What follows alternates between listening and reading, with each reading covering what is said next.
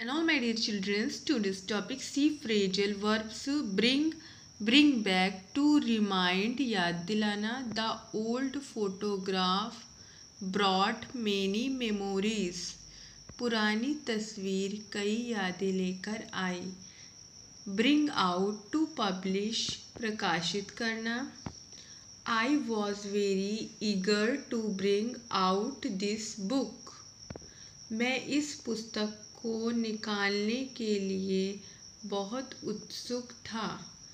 Please like, share, subscribe. See you again next video next topic bye bye